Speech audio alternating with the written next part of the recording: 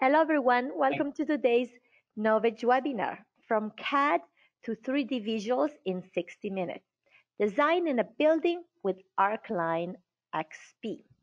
Meet Archline XP, the design software targeted for architectural projects.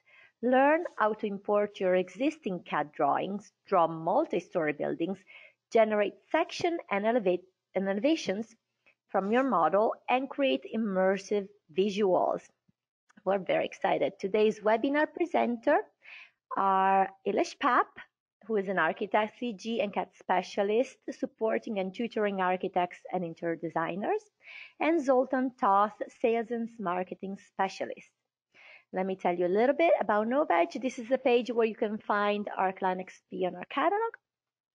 Novedge is changing the way designers purchase 3D software, offering more choices more freedom, best advice, faster service, and no headaches.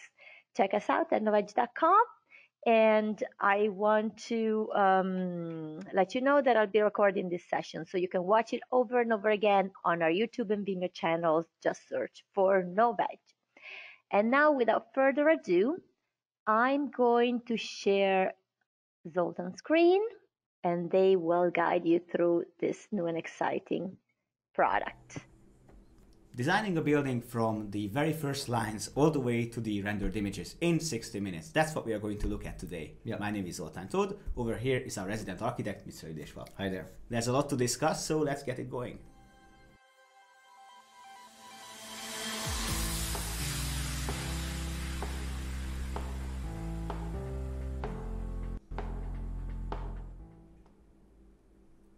Of you who have never met us before, we are representing a company called Archline, and Archline actually stands for a family of products uh, targeted for any kind of design specialist. We are catering uh, for professionals such as architects, interior designers, furniture makers, or basically anybody who needs to have a rendered image of a location like this one. Yep. Uh, just in a bit of few words about uh, who we are and what kind of products we are dealing with. We actually have three products we are going to briefly discuss today. Archline XP LT is a very affordable, small version of our main software products, and that is designed to be able to work in 3D, and that is targeted for smaller offices. If you're looking for something more, something more comprehensive, or maybe you are working in a BIM environment, we recommend that you take a look at Archline XP Professional, which is a complete all-out BIM uh, tool set, and that is targeted for larger projects such as the one that we are going to look at today. And lastly, we have Archline XP Live, which is the architectural visualization software targeted to make stunning rendered images. Just to give you an idea of what kind of projects uh, we are catering for, just a few example renders uh, made by third-party renderers, but this gives you an idea in terms of what kind of projects are realized with Archline, both interior design and architectural projects. And now what we have here is what we are going to build up, but interestingly, we are going to do it from the first lines. Yeah. And I think the first step what we are doing is to, to convert a line drawing into, into a three-dimensional model. That's, that's the most uh, widespread or the most common uh, workflow. But speaking of these things, uh, how do we get information into Archline XP? Yeah, what we have here is a is a, is a complete BIM model already, Mm-hmm. um, with all the walls and the roof and the railings and everything else, even the surrounding. Uh, we will uh, show you how to how to get those objects, how to uh, pre- prepare those walls. Um, should they be like multi multi layered walls or uh, like conceptual uh, drawing uh, systems?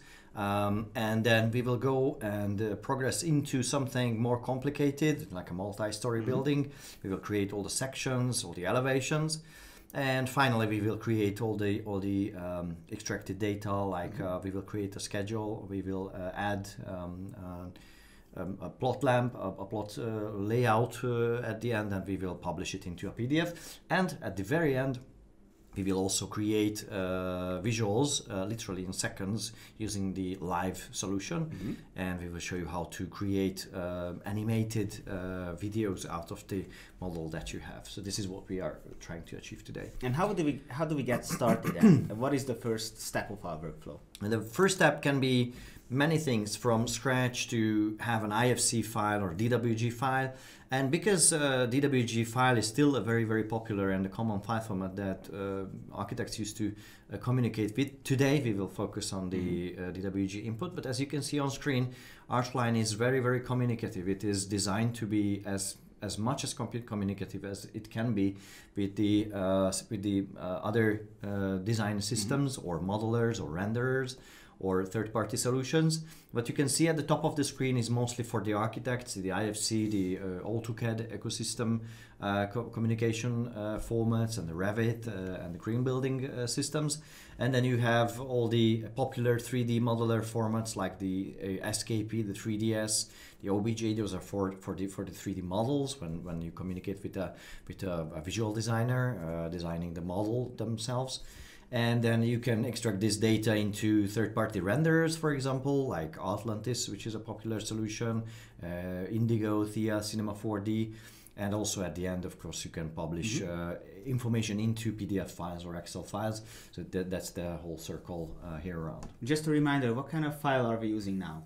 Today we will work with uh, DWG files. So what I have here, sorry, is um, a a plain white paper. I just loaded up a new project and then what I will do here, I will just uh, go to the file and import and select any of those file formats mm-hmm. that I would like to import. Uh, if you cannot find something that you would like to import, then you should go with the first option that will uh, list all the possible options uh, from here. And you can select uh, anything that you like. Like, for example, we have this mm-hmm. Uh, building uh, floor plan as one single PDF, I mean DWG file now. So I will just click on open. And then the software, what we see here is it is actually um, recognizing the, the, the, the, unit system uh, yes. from within the, the, the, DWG file, and you don't have to do anything mm-hmm. with that. But if you want, you can of course uh, rescale it or uh, change the unit system. Now, what we have here, we have a, this nice little ruler here. I think which it is, should be about 15 feet. So yes, that's that's a good comparison. So I think when I just zoom in enough and like we can see like that this this 10 feet long line and I just align it next mm-hmm. to the original uh, ruler, it, it tells me that yeah this is this is okay. So I will just click OK, and then the software imports this uh, drawing into a new uh, empty white paper. Now this is without the 3D. Now mm-hmm. you can get uh, DWG files with 3D content as well, but that is not a BIM uh, model. In a, in a BIM model, when you see a wall, it is rep- represented in 2D and in 3D at the same time. It's not a not two separate things. So when you would import a DWG file, that is not containing walls; it is containing drawings. So now we need to convert it into uh, something. Uh, and how does that how does that happen? So I will just uh, go and uh, use the wall tools here. As you can see, the ribbon has uh, several different pages. I will just use the building now, and I go to uh, wall, and there is one dedicated tool for that. This is the walls and DWG drawing option, and then I just go ahead and and I just try to pick the one on and the other endpoint of this mm-hmm. wall, and then the thickness by clicking here and then the software converts this into a wall, and what you can see here is a 3D model of this. Uh, oh yes. Of this wall. So we will focus on this uh, from now on, and I will just keep going and. Uh, mm-hmm just like tracking this this information, tracing this information. So the important the thing is, just like you mentioned, is that just pick a point close to the ending points of the walls, and pick the opposite face. Now, the, the big advantage of this workflow is that you don't really have to care about the thickness of the wall because it's going to be calculated as you go on. You notice that the wall connections are not always solved automatically, although the software tries its best to do it. But if you want to have a manual control over that, you can do the LT and L connections uh, by yourself. I will so show that in a moment. What yeah. Ilyes is doing is that he's going uh, going in a circle, and now he's going to turn a, a, thinner partition wall into a 3D model. But again, he doesn't have to know or add the the wall thickness. He's yeah. just going to click on the ending points, opposite face, and the wall is going to build up. So after that, we are going to solve the connections, which I think in most cases that's, that's pretty fine. Uh, yeah, it's just having a, uh, a few places where you need to use this this connection that you just mentioned. It is at the top of the screen. You can either choose T connection or the L connection, and when you select one or the other wall, then the software automatically connects Mm-hmm. that. Uh, just as you told, in some cases it happens automatically, uh, but when I clicked uh, someplace where it was not long enough, it is not connecting that Mm-hmm. that uh, automatically. But you can solve it manually at any time. So walls are actually extended or trimmed back depending on what you actually need. And Yeah. if you are, if you are preferring to work in 2D, you can do this actually in 2D or in 3D, and that actually applies to most actions in Archline. You can do things in the 2D view or in the 3D view, whichever is more comfortable. Yes, right? sometimes uh, it is uh, simpler to, to, to solve so, uh, situations in the 2D drawing, such as this uh, case, for example, when I have this DWG drawing and I would like to trace all the doors in, as well. So in that case, I go to the uh, door libraries and I can either select a door, going to any of those, selecting the shape, the type that I would like to apply uh, inside or outside, or I can just go and use this door uh, door by two points, Yes. which uh, goes with the default door. I only need to uh, determine whether this is this door is in a partition wall or, or in a in a structural wall. And then I just pick the two points. I don't even Yes. have to know the, the, the real uh, width. And then the software traces that. And I, then now I have a door here. And I, let's just repeat that here. So there is So no need for uh, manual um, refreshment of the 3D model that, That's that's right. going to build up automatically by itself. uh, but you know, once you have added the the windows, uh, because that's another topic, uh, there's going to be another im- important thing we have to cover. But first, let's talk about the windows. How do we add them? Yes, um, that's actually the same thing. You can either go to the libraries. Uh, you can even design these doors and windows for you if you if you can't find the, the, the perfect match uh, from the libraries. Uh, but now we'll, we'll just go with the window by two points uh, Yes. option, and I will just pick uh, two any sort of two points on this drawing. And then again, the, the, the whole point here is that I don't have to continuously keep uh, that in mind. What is the width and the height and, and everything else for these uh, windows? I will just quickly trace them, and then later uh, I will make all the changes that are necessary, like the type and the and the sill height and everything else. So my goal now is to uh, trace this drawing as quick as possible, and then turn it into something that we can consider as a building, and then we can work with that as a building. What's the deal with the slab? Because we don't have a floor here, so how do we add one? Yes, uh, that is uh, in this case it is actually the same contour as what we have as a contour of the building itself. So for that solution, which is a very common uh, situation, we have a slab by walls tool when you can just simply select all the walls. Uh, that are uh, making up the building contour, and then you just hit enter, and the software uh, creates that slab with the default settings, which you can change the material and the and the side material as well. And in other situations, like for example, in case of a terrace, which is in our in our uh, situation, it's, it's here.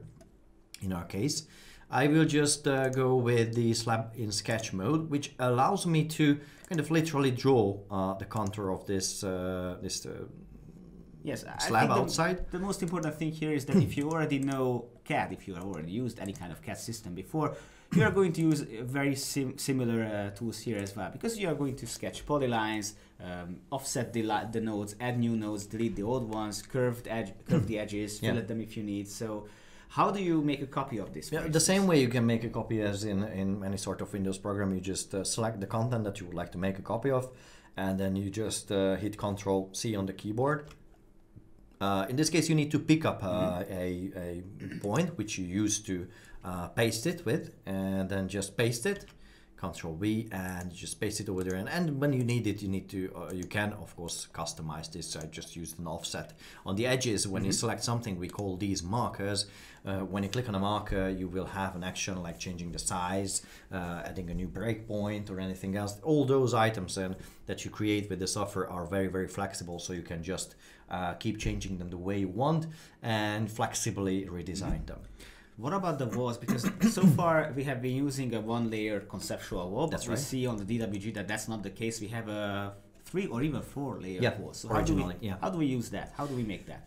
Well, we already know the values of these uh, wall layers, uh, so we won't measure them. Later, we will show you how to measure an item. Uh, but in, in a situation, you would measure what is the original layer system, and then you can at any time build that layer system into the wall settings. Then you select the wall, you edit the properties of this wall, and you go to the compound settings, I mean the compound la- layers of this uh, wall, and you can just keep adding all the necessary uh, layers uh, into this wall. In this case, it's four separate layers and we, we know the values in millimeters but, but now we are working in, in english uh, feet and inches. So you will see that archline xp itself is actually automatically coming with a built-in um, unit converter uh, mm-hmm. unit converter. I will show you the setting uh, for the units uh, later on.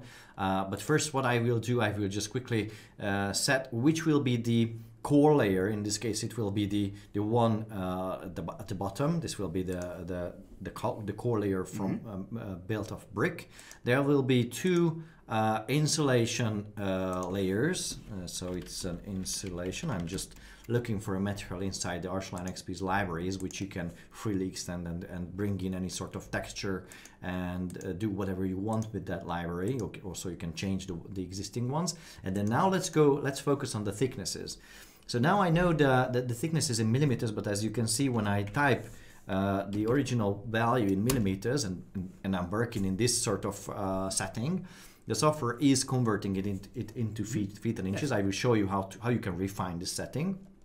Because for, for this design, we actually need that uh, refinement. I will use uh, the following value is, is this. Uh, there is another one which is, is 80 millimeters. Sorry, it is 80 millimeters.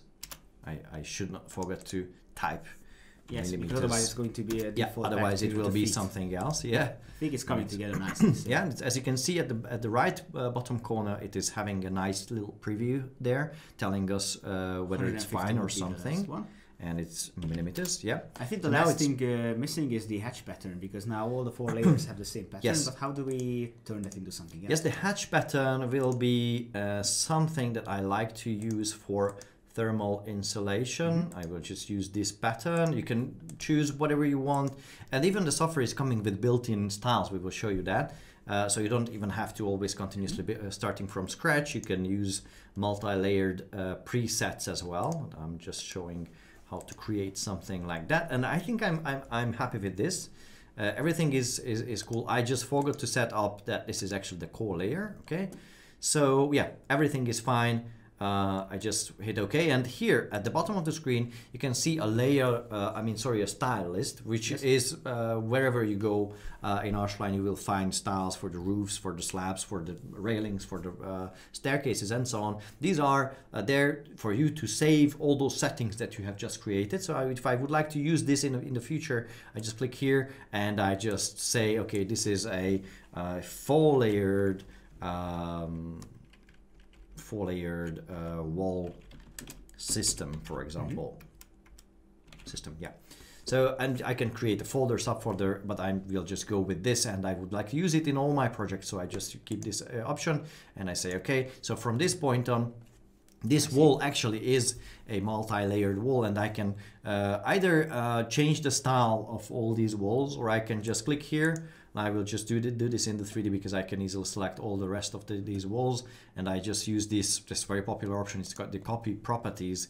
You can copy all sort of properties just as you would do with a paragraph in, in, in, in Word, for mm -hmm. example.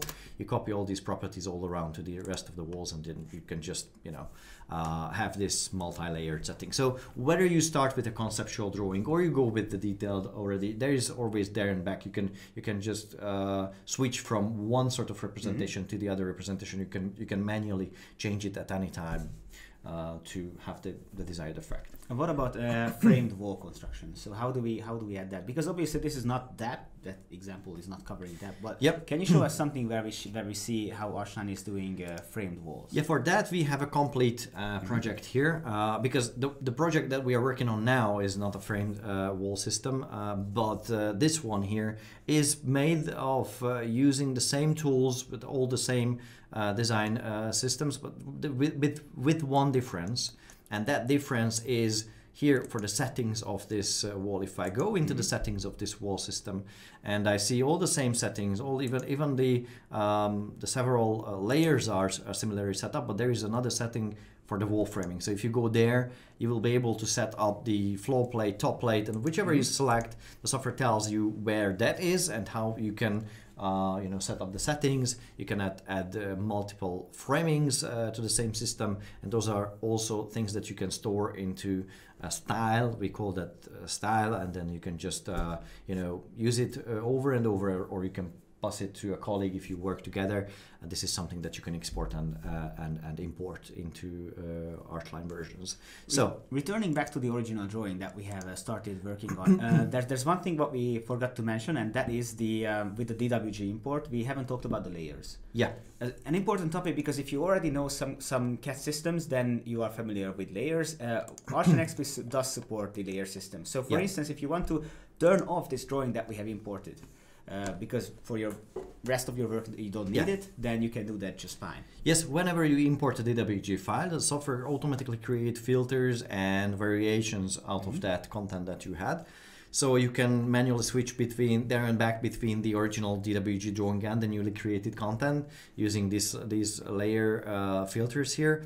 Uh, if I if I go with the use layers or only the layers that came with the DWG file, that was the name of the DWG file, so it, it's easy to find. Yes. I can easily turn them on or off or change their printability, for example. So perhaps I would like to uh, see them, edit them, but I don't want to print them, and in that case, I can set set that up. So it's pretty much similar to whatever else you used before uh, with all the layer systems. This is uh, quite the same thing.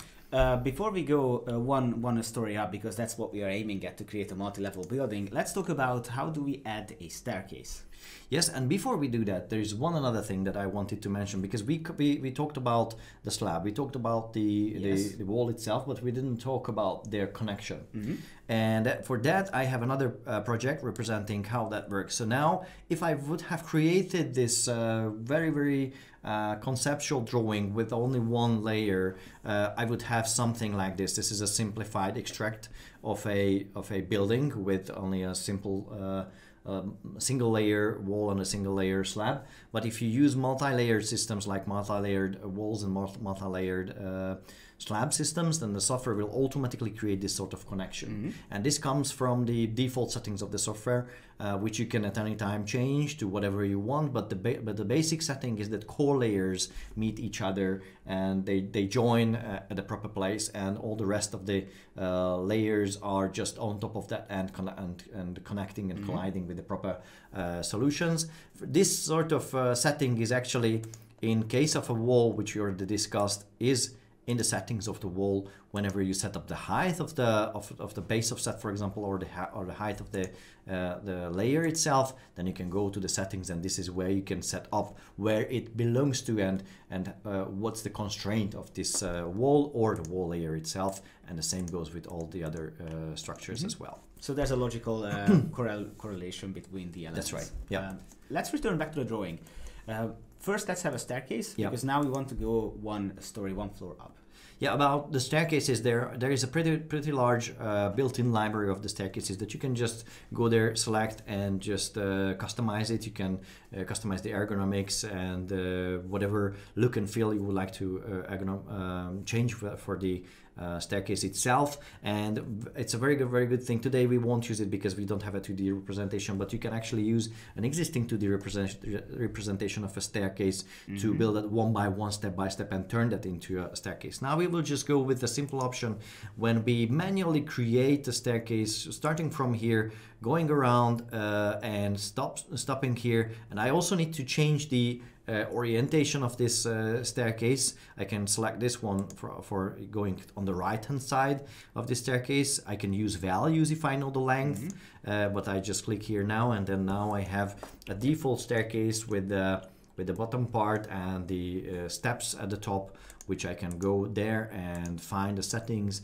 and customize the way I want. How do I make the staircase reach the second, the uh, yeah, the second floor? Because now it's not reaching there at all. So Well, the, the, the easiest uh, setting is that either either I set up the proper height or I just simply tell the software to take take the floor height and then it automatic auto aligns the, the staircase to, to match the, the difference between the two uh, levels. By the way, while we are talking about that, here is the here's the place where you can actually uh, add new floors above or below and set up the height of that floor uh, to actually manage a multi-level building. Now uh, let's load up the next uh, version of this project because there's still a few things to do on this on this level, but we don't really want to uh, care much about that. So we are just going to load up the next stage, and uh, we are going to build up a multi-level building with with the tools that we have here. Just one second. Until Yeah, in the following stage, we actually already uh, have all the walls, all the windows, or the doors uh, made using the same exact uh, method that we just show you, using the two points Mm-hmm. method and tracing the walls uh, this way. Uh, also, we have created a, a, a tiny surrounding. This is actually a slab. Uh, the software supports a terrain. It has its terrain system itself. You can import terrains, uh, but now we just made it simple by using a simple Yes. flat ground around. So now what you see here is that we actually have that nice staircase, uh, all the multi-layered walls uh, created the way we have just uh, did it before. And then now what we need is to make a copy of this uh, to multiply it as many levels we, we want to have. And so how do we I just that? I just select the content that I would like to make a copy of. I just go with this, for example. Uh, you can see it on the 2D and the 3D. It's it's parallelly highlighted, so it's very easy to trace. Uh, uh, I mean track. And then I just go and use the copy objects to other floor, and I can select as many floors as I want. I just would like to copy this to the second floor, and I hit OK. And now I have this this fully copied to the se- second level, and, and and now I customize it the way I want. Mm-hmm. So, for example, I don't need this wall here at the at the top level, and for example, I just would like to customize this. I just click here, I just move this node and flexibly redesign it, keeping the same characteristic, keeping keeping the same materials, but changing the shape. And also, while talking about the slab, uh, now we need to have a, a, a breakthrough, a Yes, hole. because you can't go from one uh, story to the other. So So, yes, so uh, as you will see, it is supported all around with the tools, but now we will just focus on this uh, tool, which is ac- actually having an automated uh, way to create this hole. You only need to go back to the first floor. Uh, with, with these two buttons, I can just switch between the first floor and the second floor. So I just select the, the, the stair at the, at the first floor, and then the stair itself has the ability to cut the slabs above itself and then now when when it appear, appears like that you can see that now it is something that people could use that pe- people can walk on. And it is based on the, the, the standard stair settings which again is something that you can customize in the settings. Uh, i wanted to show one thing about the settings that you can find here in the software and you can fully customize anything like for example the units and angles that i have did uh, I, I did before are, are here on this page uh, with uh, with all the other settings like the graphics and and so on so this is this is where you can customize how the software works just one one question about the, the floors. How do you navigate between the floors? uh, navigating between the between the floors when you are on the 2d uh, floor plan um, is by using this here uh, uh, going up or below and the same thing you can up, you can use on the keyboard that's the page up and the page down keys so it's very very simple Well, interestingly, it's like the pages of a book. You can just Yeah. turn the pages and go uh, one way, uh, one story up or down. That's right. Or you can just open up the navigator and just jump to the floor, which in which you care uh, about what you do. So we are just going to load up a next version when we are looking to get to get a roof done on the on the whole Yes. location. Yeah, so um, this is how you can create a multi-story uh, building. Uh, as most of the structure will repeat itself on the on the following floors. This is, I think, it's a, one of the fastest Yes. ways to do that. And then when you achieve something like this with with, with, all the rest of the building structure, the rest of the uh, doors and the windows and, and slabs, then uh, uh, you get to the point when you need to create the, uh, the roof itself. And how do we do that? Now, uh, that is also something in the software that has many, many different options, uh, covering uh, all the several different roof shapes and and and uh, interesting ways of creating those uh, flat roofs, Dutch gable, jerkin head, and and so on. But now we will go with the simple open gable. So what I will do, I will just go here, uh, pick this uh, corner point. But before I do that, I make sure that I'm working on the proper proper floor because for this purpose we have actually created a roof floor for the roof itself.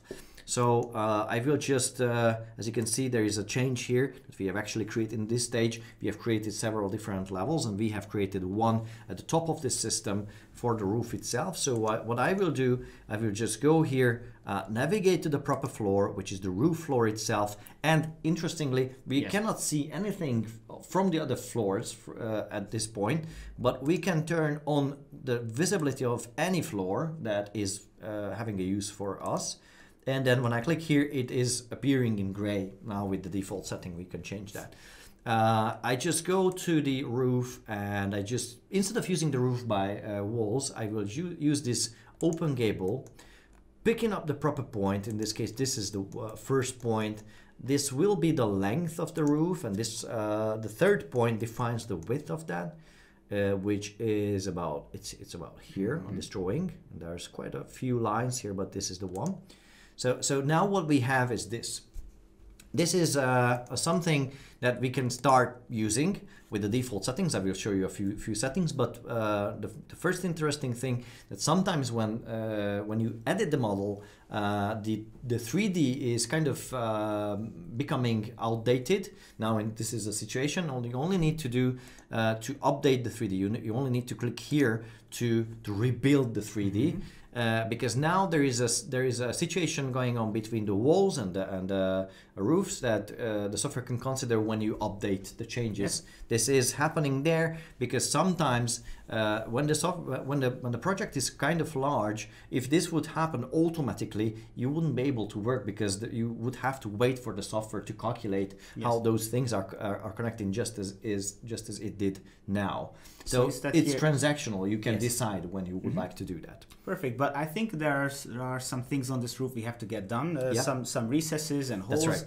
How do we get them? Okay, so uh, before I do that, a few things about the settings. Just I, uh, just as I mentioned, the settings uh, are about its position, uh, how it looks like, its its pitch and shape. This is where you can define the roof pitch, and also uh, how it how it works, uh, how it cuts uh, things, mostly uh, the walls, and of course the general properties. And you can also turn on all the eave spellings and everything else that you want. This, the, this is also coming with built-in styles that you can uh, go see. with. Okay, so so now to create the, those uh, for the terrace and everything else, you only need to go just as in case of the uh, slab and the staircase. You need to use the local menu, the the context menu of this uh, roof, and find the hole option.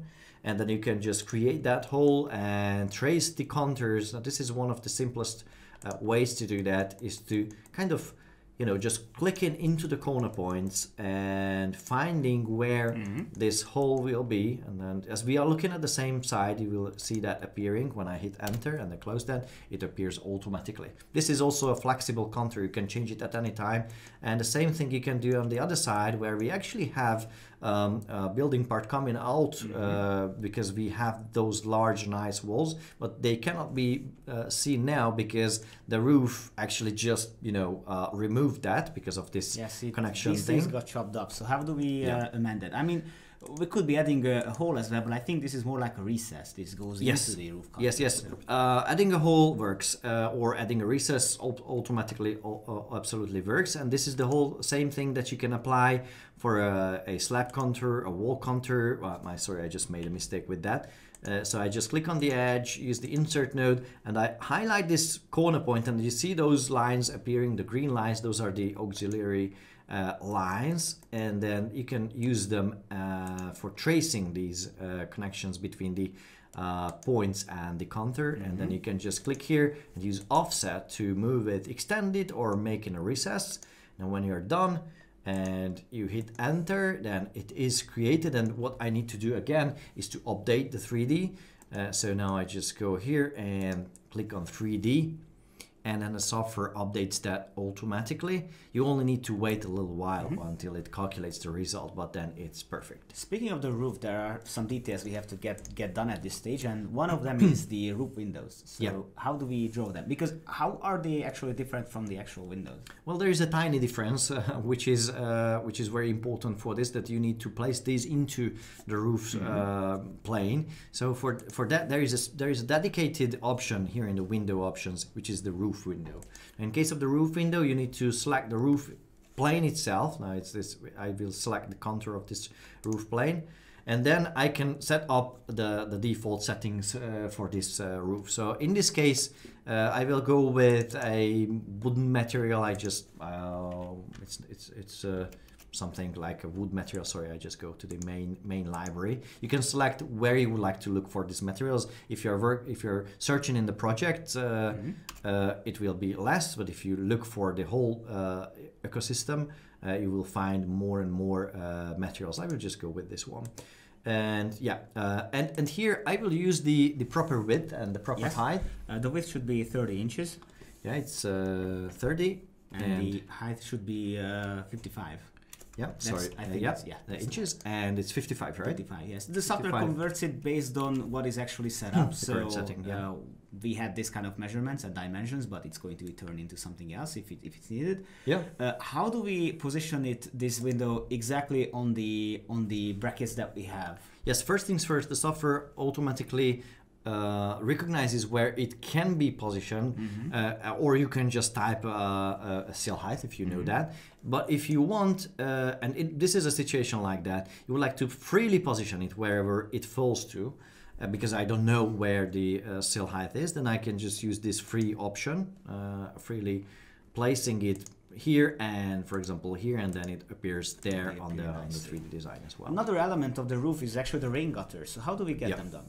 Yeah, for the gutter, I will just uh, use uh, any of those uh, contours here. And what I will do is uh, I go to the building and roof and using the gutter. Oh, so it's option- automated again. You don't have Yep. to um, track the path. You just No, no, uh, well, you can if you want, but, uh, if you just click on the bottom uh, line of this uh, roof, then the software automatically recognizes that shape. It offers to select different cross sections, to select the material, adding a downspout, uh, which uh, in our case can be anywhere here on this line, or we can just type the, uh, the distance uh, from let, here. Let's put it um, two feet from from the from the left hand side. Okay, so it's two feet, uh, Mm-hmm. and then let's just go with that. And when I just uh, hit uh, OK, I mean just create that, and the software adds that uh, here, but I can change it uh, at any time. What is the length uh, we, we Uh, depends on which which plane we are talking about. Because if it's if it's the shorter one, then uh,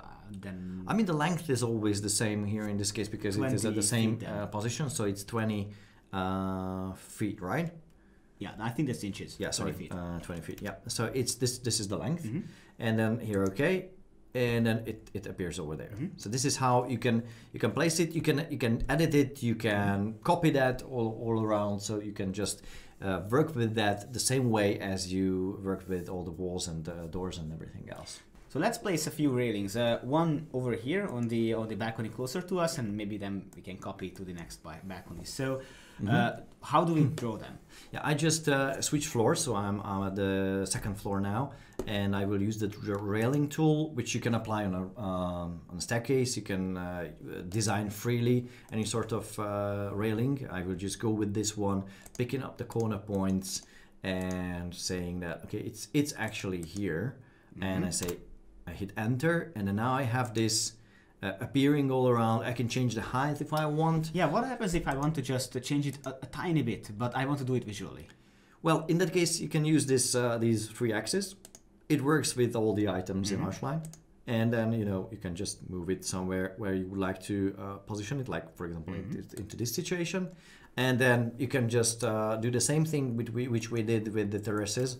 Uh, you can just control copy, and then let's just pick up a point and then just paste it over here with its middle point into that uh, location, and then now we have that. It's Perfect. nice. So that's conclu- that concludes the modeling part, but now comes the documentation part, which shouldn't necessarily be boring. Let's see what we have there. So let's load up the the, the final version of the modeling, and uh, and open up the uh, yeah that version, and then we can see how do we get some nice dimensions and Yeah. hopefully some plot layouts as well. Yeah, okay. So what we load now is this uh, final version with all the details that we mentioned before, uh, walls, roof, uh, railings, uh, and so on.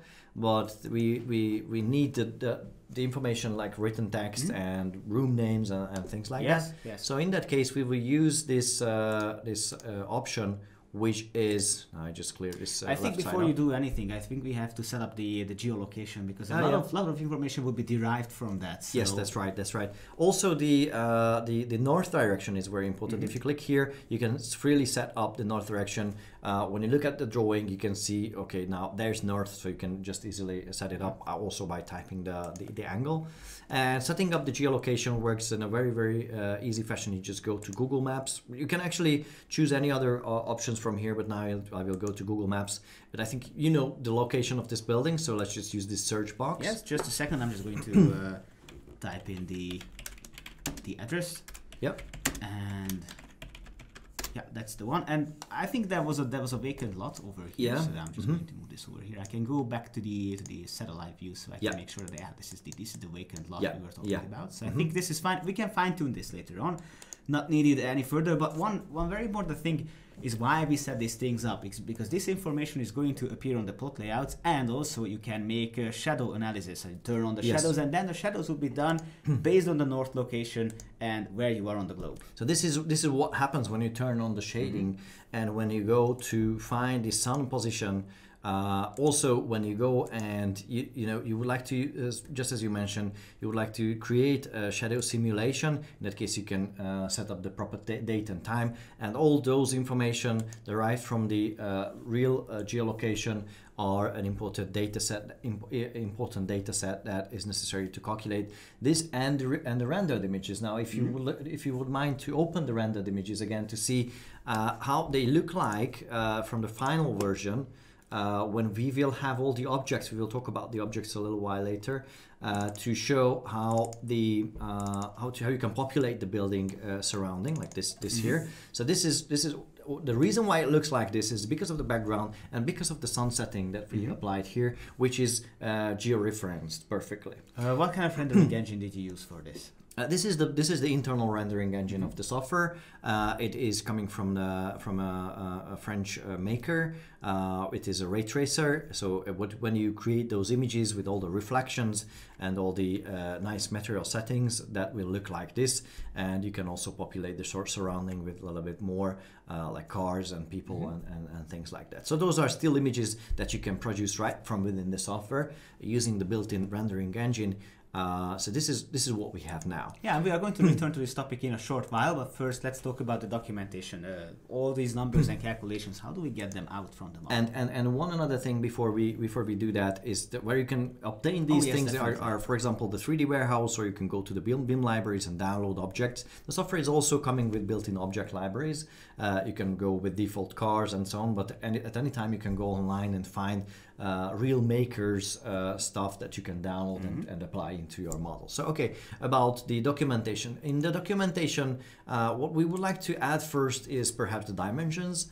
Uh, the, you can find many different settings for the for the dimensions. The one of one of the pop, most popular is this uh, kind of automated way when you can select the style that you would like to apply here, uh, what you would like to measure with. This is this is a list from here. From here, I can add into the execution list here the commands to execute. That means these are all the uh, uh, measure will be measurements that are placed around when I select the building and I hit enter and I place it somewhere the software automatically creates it all around or even for the for the doors and windows and all the lengths are uh, appearing there. And this these are all dynamically linked that means when you change the drawing uh, the dimension will also change. Ah, okay, so these are not just plain numbers; they are No, in no. connection with the model. No, yeah, the, these are in connection with the data, and then when uh, you would like to measure it, anything like, for example, only this this room width here, then you can just pick two points and then set it up uh, over there. Talking about rooms, uh, you can use the uh, building and room and area tool, which is that do? again having a, a, a default setting when you can just you know go around and click into the rooms and then later rename them but the software actually automatically recognizes the shapes uh, i mean the, the the contours of these rooms and it calculates the real uh, size of that roof uh, and it prints it on screen this is something that you can customize and you can later uh, of course print it into a pdf file for example What happens if a room has a split uh, roles? Maybe half of it is, is a kitchen, the other way, other half is, is the diner part. So how do we? Because I see that this tool is recognizing the room contours. Yes, but that's in this case, that's not going to help us because you want to manually define the part of the room which is going to be one Yeah. location and the other one is going to be another one. So how do we do that? In a situation like that, or if it's a terrace, because in a, a terrace is not fully surrounded with Yeah, walls as right. well, you will go with the room by polygon. In that case, you just just go around and trace that uh, room and say, okay, this is the terrace contour, and I would like to place the, the text. Yeah, that will be the height. That's fine. And I just click here and I just rename it. This is not a room. This is a terrace. And yeah, that's fine. And the same way you can just go around and, and rename all the rooms to the way you want. And uh, that is how it will be printed. You think it's time to create some sections, maybe? Yeah, a section is something that you can find uh, easily in the documentation. This is the section. Also, if you are an interior designer, you will probably go with wall elevations as well. So there, there are many uh, different options here. We will, we will focus on the architectural part now, and we will say, okay, now I will just go with the default settings. I don't, I don't mind whether these are set uh, uh, visible or not visible. I just go whatever uh, the software gives uh, throws at me, and I will just hide the objects. I don't. In, this is an architectural. Uh, drawing so I don't want to see the, the, the, the chairs and the furniture inside the, the section so I just disable that and uh, this is how it goes. I will I think create a section around some place here of this building. Uh, later I can change its path mm-hmm. or its or its location. How do we know from which direction we are? Oh yeah so yeah can... yeah this way. When you when you have designed this you can also create a broken um, section with with a, with a broken line uh, so when you set up this uh, view direction, that will be uh, the way you look at this section. And then the software ge- generates, this is a dynamic section, that means it, it reflects the changes while you're working on the project. Mm-hmm. And as you can see, the connections are there automatically. I, there's, just, there's still a few refinements that I need to do, perhaps adding a few more layers to the uh, to the slabs and so yes, on. But basically, this is how the underfloor heating. This is uh, this yes. hasn't been done before. But if you, if you zoom in on the connection, on the detail of, of yep. how the slab meets the wall, you see exactly what you were talking about yep. earlier about the connection of the layers. That beautifully visible over here. So uh, the next topic is is how do we get something similar uh, elevations? So I think they are they are made the same way, maybe. Yep.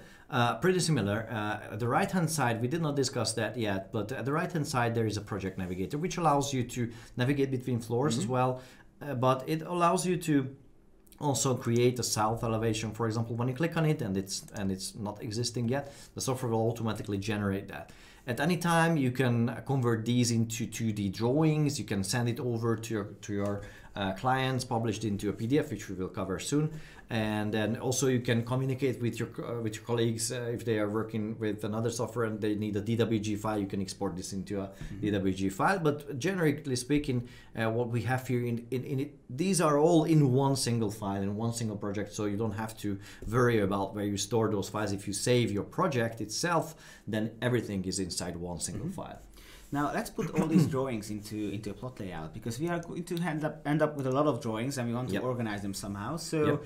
Uh, I'm, I'm sure you have realized that up until this point we have been working in in one to one scale. So we we created everything in the same scale as it actually exists. But how yep. do we scale them up or down? Okay, so what, what we have here is is is the building itself. We used it partially for documentation, but it is a building. It is not a paper that we can print. So for the paper, uh, we need to uh, prepare a layout, a plot layout, we call that. And then for the plot layout, you need to set up the paper size. I will go with ISO sizes, but as you can see, uh, any sort of other size you can set up and even custom sizes are supported. And you can go with uh, several different settings for the portrait or landscape, and even you can also add your title box if you uh, have any. Uh, I will just go with the default now. You can create your own title box. We have a tutorial about that and I just go with this one and I say, okay, I would like to prepare this layout and I would like to uh, fill this up with the, sorry, it appears on the other screen, with the information that appears here. For example, uh, the designer is me and uh, for example, the, the, the company I'm working for is CadLine uh, and so on. So you can fill this up. Yeah. And when you say OK, then the software fills that information into this uh, title mm-hmm. box easily. So how now, do we get drawings onto this layout in a scaled down version? Yeah, in that case, uh, when it appears in front of you, you need to find the proper drawing. Now, in this case, this will be the second floor. Mm-hmm. So I just click and drag and release the mouse and I select the scaling. I will go with 1 to 100 and if that fits i'm fine. It's it's okay. If if it's not then uh, i can rescale it. At any time if i click on it i can change what i see. I can uh, you know uh, kind of um, make make a crop version of this one like only the half mm-hmm. i would mm-hmm. like to see. And also i can go at any time into the settings and saying that okay what i see here is not not not correct because i would like to change its scaling to from 1 to 100 for example to 1 to 50 and then the software re- rescales that. I can just uh, move it, realign it on the content, and so on. I can just uh, find the best uh, solution, perhaps placing a few rendered images here or a section uh, here on the right hand side uh, and so on. If it's a larger paper, I have even more uh, options to do that. We actually did that before. Yeah. Uh, so we have a larger version. It's, it is a, it is on a rather large page. We already created a PDF file, but first, before I show you the final result, I would like to show you how to how to uh, uh, plot this into a PDF file, how to prepare a PDF file. So when you see the content that you would like to print, you go to the print to PDF option, you name the file where you would like to place it, you set up the paper size uh, and the and the orientation, and also you can set up the scale factor, which is in this case it, it will be one to uh, one. Yeah, you don't have to scale it down any further because it's already scaled. So Yeah, and in this case, I would like to print the entire drawing and the entire content what I have here. So this is what I will go with, uh, and this is yeah. uh, Let's just center that. it. Yeah, sorry, uh, I just made a mistake here. This is landscape, and let's just recenter it again. And this is the content that I would like to publish. When I click on print, this is in this case it is actually publishing a PDF file. The same dialog applies for printing.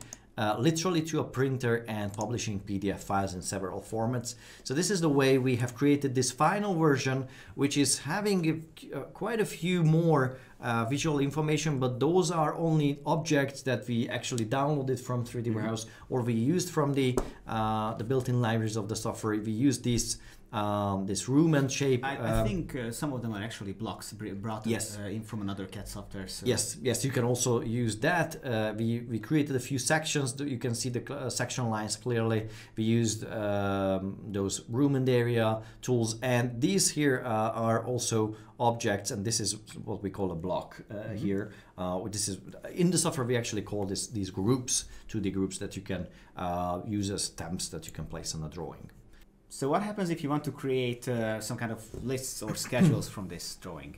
Yeah, okay, so we have this final version that we have started with. This is where we would like to uh, uh, head to at the end of our design. And here we already have the full drawing with the full uh, everything around uh, all the all the different levels and everything here. That's actually what we see. used for the plot layout, what you just saw. So Yeah. what if I want to collect all the rooms into a nice table text? Yeah, you have a few options. One of these options are the the schedules that you can just go mm-hmm. and either you can define your own schedules or you can go with the, the, the, the factory default ones. I will just go with the default one now. And I would like to extract data of all my rooms. Uh, but without the floor information in this case, I will just keep. I try to keep it as simple as possible. Now I, I don't want to confuse everyone, so I just go with the with the room name uh, and and for example the area. That's all. That's That's- that's, that's all I all we want need. to list. Well, a large list for this, uh, like a like a room legend for this uh, this one level. And then when I hit OK, I just would like to extract this information of one floor. But if I want to, I can extract all the all the floors and say OK.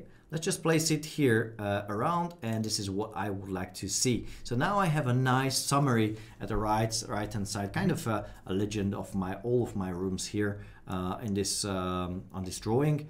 Uh, and the same thing I can do uh, with many, many other things. You can go and find all these sort of door, window schedules, uh, slabs, and so on, even with the layers and, and so on. I see an icon that you probably connect to uh, Microsoft Excel. Yes, that's right. Uh, Here you can find the quantity takeoff. This is also you can also create RTF lists for Word, uh, or you can create Excel lists, uh, and you can go with any sort of even you can extract the tiling information. The software is able to literally tile the surfaces and then calculate the amount of tiles and so on terrains. And in, in case of the building calculation, you can also create a, a large uh, um, Excel file with all the beams, columns, and, and architectural uh, information uh, extracted, like length, surface sizes, and so on. Yes. And make calculations with those. We promised that we are going to take this show from the from the beginning, from the first lines all the way to visualization. Now we did uh, show you some rendered images, but that's not where we are stopping here. Uh, instead, we are going to talk about another product that we have, which is Archline XP Live, and that is all all about visualization. Yeah, so have a look at that.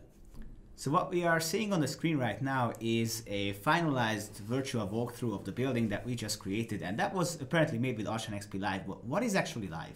Live is a th- uh, third software, the separately installed software for visualization, real-time visualization. So what you see on screen was kind of real-time recorded. You don't have Mm-hmm. an, you didn't have to wait for long rendering shots and so on. So we will load the model now into Yes. into live, which was the original BIM model in Archline. And then this is what you get at the at the first shot is is actually the building, the, the the things that you have modeled in in Archline, the design software, mm-hmm. All the walls, uh, the building structure, roofs, and so on, and also the sun settings are coming from. As you can see, the the sun is actually moving in uh, in in live. That's right. You can set up a different time, a different uh, date, but the location is the one that you have set up. Yeah, in. we, we did set up the geolocation. That's Yes. where this information is coming from, right? Yes, that's right. So, so and also the materials, the the the, the different shots, the views, the 3D perspectives are coming from uh, the previous software, and that those are actually not only perspective views; those are also images that you can just send away uh, to your clients right away. It's you didn't have to wait uh, a second to create those images; those are au- automatically created there at the, at the tray of uh, live, as you can see. So there was no rendering time. No rendering time. Uh, and also, uh, if you would like to fine tune something, as you can see, all the materials are coming from Archline, uh, predefined material sets you can just select from, and then you can just uh, change this material to wall surface, plastic surface, or anything else. And you can even change the brightness, and you can see the change appearing in instantly all around in your model. Yes. So this is how you change the mo- materials, uh, modify the materials. You can even create materials, and you can work with the with the high fidelity materials of the software itself because the live software is shipped with a built-in library of materials and uh, also objects. We will also uh, work with those. Now, what I'm doing is I'm actually pulling in those materials, applying them to the surfaces, and they ch- they are changed wherever else they, they uh, are in this model. So I actually kind of test uh, what is the best uh, for this solution, and once I find that, I can just go into another library, finding perhaps some environment material like asphalt, grass surface, and so on, and then I can just You click just and drag and drag. drop. Oh, yes, okay. let's just try a darker tone. If I don't like that, I can just go back to the previous version. You can undo redo things just as you would do in any other software. And uh, I will also change this pavement. Uh, as you can see, there are other libraries for uh, internal flooring as well. Even the, you can even see the scratches on the on the on the flooring on those materials. Also, the metal surfaces you can apply onto different uh, areas of your design. And there is one library which is called the stone flooring, and that contains a few um, stone surfaces for uh, flooring, or even you can apply them to wall surfaces. And let's just apply this here because this actually highlights how detailed Oh, these materials are. It is really, it's really popping up. It's really looks, it really looks like it's it's 3D. Mm-hmm. And this is a uh, this is a very good quality material, and, and all of those are, are part of the built-in library. So, I'm so you just- don't have to manually download this. No, it, no. it comes with the uh, with the factory. Yeah, so you can, and you can extend the libraries with your own materials, Mm-hmm. of course, but these are all built in, and you can just start working with those. Uh, and also, the same uh, applies for 3D assets, objects, and uh, and decorative items, external or internal uh, items like this car here. You can see that you can move it, you can rotate it. Uh, it's a very high detailed object with all the beautiful reflections around on the surfaces. Uh, even there's the steering wheel inside, so it's it's a very very detailed one. But it you can uh, work very fast in this software because this is tailored for working with a large amount of surfaces and high high detailed uh, materials, which you would otherwise kind to kind of try to avoid when you design uh, the the building in the design software when you make the documentation because those are a lot of polygons. Yes, it would take a lot of time to render these things, but apparently here there's no rendering time. But, so- but here it, it's not a problem. You can uh, just click and drag uh, and, and bring in uh, detailed uh, plans and decorative items. Uh, even the, you can kind of build a hedge here. You can just uh, rotate it the way you want. You can move it around. You can scale it even if you want. And as you can see, it's slightly blown by the wind. oh yes, it, there's there's movement everywhere. Yes, yes. So um, those are actually uh, living with the scene, and you can just control uh, copy and control paste them anywhere. So to, you can actually have a large amount of uh, those all around. I also try to find something which is a fireplace itself. So you can just use that search field if you know that you would like to find something that's part of the library. And if you just uh, search for f- fire, that is coming up something that we call effects in the software It's like those dynamic. are yes, yes, uh, dynamic content. Which uh, this fire is really burning the wood over there, as you can see. so it see. is really um, having a nice living effect uh, here. And you can apply if it's if it if this would be an interior, you can use it for internal uh, fireplaces or even candle lights. You can apply. What else can you add? Uh, there you can see there are larger trees and bushes and other uh, decorative plants that you can use on the street or in inside the garden. Uh, either it should it be a sakura tree or or an acacia or something like that. You can just uh, you know pop it in and then you can just uh, replace it. You can even resize it. And as you can see, these are all living, blown by the wind as well.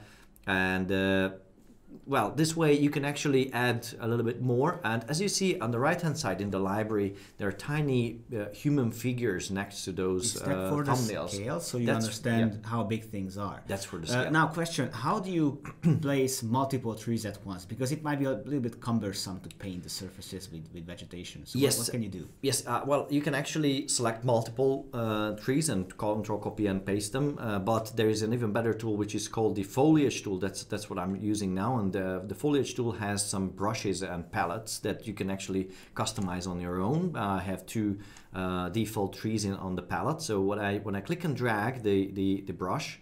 it- I can actually paint the surface with trees, which is a beautiful way of populating the surrounding with large uh, amount of detailed foliage, and that brings a, a lot of detail into the into the design. This is actually what we are doing now. We are we are trying to fill it up with live and and details because that makes it uh, living. And just- as you can see, you can uh, you can just do it in seconds. Uh, it really uh, does not take a long time. Makes things much much more interesting. So, what is the what is the output format? What what are we working towards? Well, uh, first things first, we we are having images just as you saw before. We will uh, create a Yes. video file as well. Also, you can import content into the library. This is what you can see on the on the right hand side, which you can import uh, FBX or OBJ files. You can directly import into the software, or when you uh, work together with the design software, then you can just directly uh, import uh, objects from the design software as well. It's not a necessary uh, thing to do, but you can also do that because Live is also a standalone software, so you don't need to have the design software to be able to work with that. Uh, there are also surroundings that we have downloaded and imported, and this is how we got to this uh, this stage where you have all the uh, motorbikes, uh, all the surrounding nicely painted, and all the street lights as well. So now we have updated the the images themselves. Those are the latest uh, snapshots that we have created in a second and these are the images that we are uh, about to send to the client in a, so this is really uh, instant. And now also we have uh, discussed the sunlight but we didn't talk about the artificial lights like a street light or a, Yes. or a light inside the, the, the building or a lamp. Uh, that is something that you can manage here. As you can see once you switch to the light mode you will see those nice tiny uh, light bulbs. So you can turn them on you can manage uh, manage them you can turn them uh, uh, on or off and even you can change their uh, intensity you can change their color uh, if you would like to you can uh, select a color from a, a color palette from like uh, NCS or, or RAL Yes. or something like that or you can just even uh, mix your own color and then also you can change how it uh, it, it, it interacts with the world like this is a helper light or a, uh, a real light so this is this is really something that you can uh, change So once you have set up the lights, I think the last thing to do is to get to the exports. We already created a few images, but uh, how do you capture the movement of this model? Yes, uh, well, let's have an animation. Now, for this animation, uh, you can go to the animation palette. By the way, there is also uh, an output for Panoramic 360. Uh, so now we have two animations coming from the design software, uh, mm, which we can just uh, play and see whether we like the result or not. If we like it, we can record it, save it into an AVI file, which then we can later upload to YouTube or Facebook. Or we can edit this content and even better we can also create our, our own additional animations. So perhaps like for example i would like to turn around and go to those rocks over there and from that rocks uh, i would like to approach this building in a nice closing shot. So what I do, I just first I move there. There's a special tool for tool for that uh, to click and move over there, and then I turn around. So this will be the first frame, and then I and I click here and I, I, I create a new animation. Now, when I create a new animation, I have the first frame. All I need to do is to find the, the, the final shot where I would like to get to. Uh, so this should be somewhere around here. And then now I can add this frame as an additional frame to the existing mm-hmm one and uh, I can also change the, the length of it. Uh, I think uh, six seconds would be okay. So let's just go back to the beginning. Let's have a preview. If yes. I like it, I think I think this is quite I good. Think this would do. So it's it's very easy, extremely easy to create an animation. And then I can just save it. If I like it, I can click on this little uh, icon to save it as an AVI. And just we we just did this uh, before with the with the other one uh, with the first uh, shot. So let's just play uh, what result looks like. Looks very good. Looks like our work is done. So in a in a very short time, we managed to create the building that you see over there, and yeah. we dressed it up in Archline XP Live. I understand that as a, as a closing remark, we have a few uh, user-made uh, models that we can we can show you. Uh, we have mentioned that Live is a new product, but we already have great and beautiful projects being realized with it. Let's see the first example. I think this is a residential uh, area. Yeah. And that was made with Archline XP Live as well. And this is not even just one single building with mm-hmm. its surrounding, but you will see this is a large, it's a long yes. street of uh, separate, detailed, and nice uh, buildings with, vegetation uh, does wonders with yeah. the end result. I can, I can say that. That's right. And as you can see, all the fences are, are created. And uh, this is only not for just architecture, but also for interior design, which yes. you will see later. Perfect. So let's just uh, look at the videos until the, the questions from the viewers come in. And at the end, we are going to answer them as well. Let's just admire these things.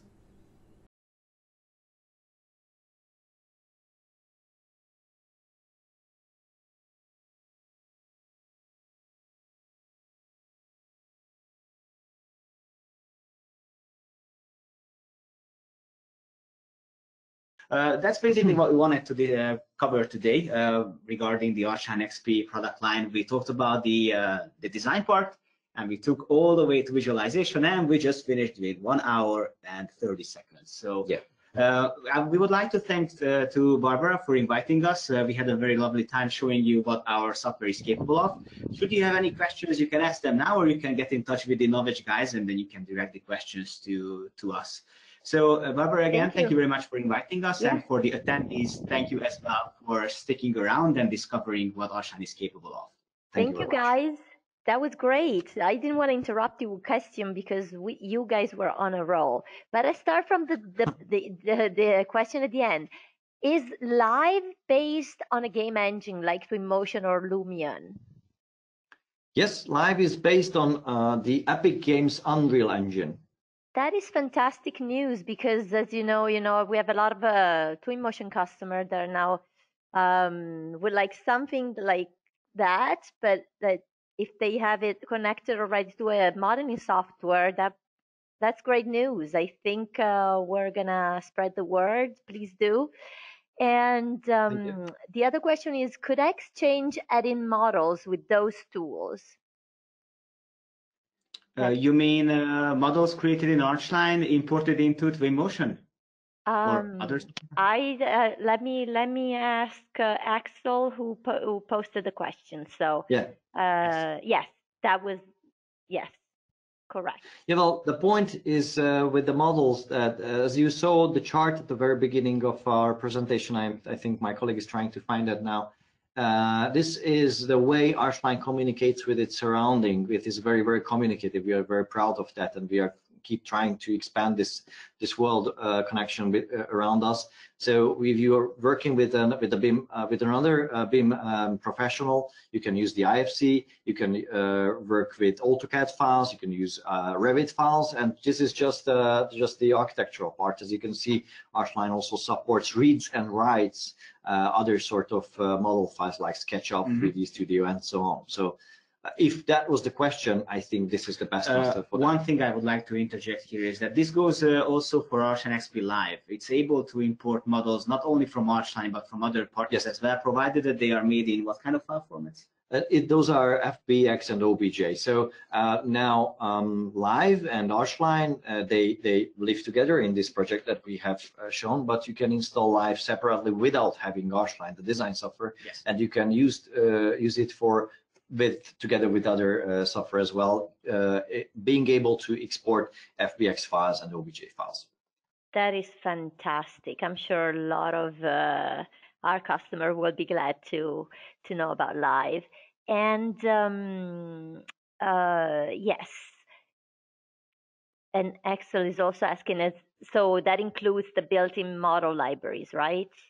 Yeah, Okay, Uh, cool. Live is coming with its own built-in library, which you can freely extend either from Archline, directly passing the models, or using the import option uh, from the from the menu which we showed before. Uh, you just go there, import, you can scale it, and then you can just save it into the library. Actually, we are encouraging our customers to use external sources because what we can ship with the with the software can get uh, you know obsolete, especially if we if we are talking about manufactured items. So we always encourage the customers to reach out for external sources and use models from there. Yeah, so Live is coming with a very good quality, high quality material and object library, but the point is that the, the user should be able to uh, to extend the libraries the way Yes. they work. Excellent, excellent.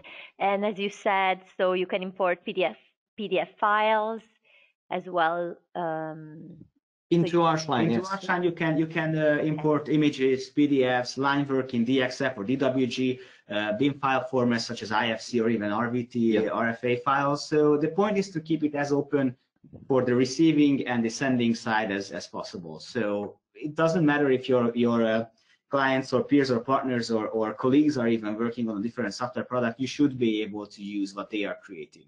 And for future references, uh, when someone is using Archline and keep uh, keeps updating it uh, to newer versions, new versions are always being able to communicate with older versions, and old versions are Oh, yes. always being able to communicate with future versions. This is intentional from our side because we want to make the users being able to uh, communicate with within the uh, the ecosystem of Archline Yes. as, as fluent as possible. So we try to be backwards compatible because it, it Yeah. might happen that in one company, uh, one one uh, user uses this year's version, but a, a colleague of his is using an older version. So Yeah.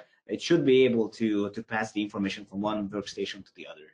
that is perfect. That's all we need to know. That's great. Well, thank you so much, guys. This was uh, fantastic. Uh, you yourselves have answered a lot of questions that were popping into my mind, and I'm sure other um, other people that were following us. So I I'm going to take the screen back just Yes. to show everybody where they can find Archline XP uh, on the uh, catalog.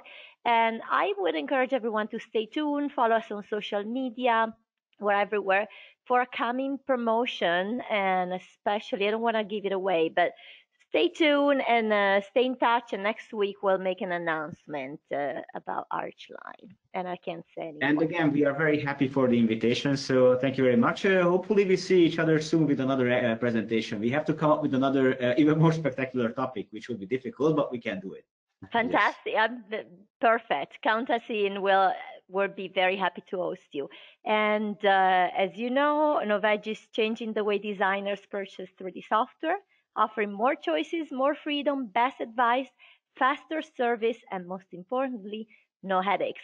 Check us out on novedge.com and um, yeah, give us a call. We're always on the phone uh, waiting for to answer your question. Bye bye, everybody. Have a great rest of the day or night. Thank you for the attention. Bye bye. Goodbye.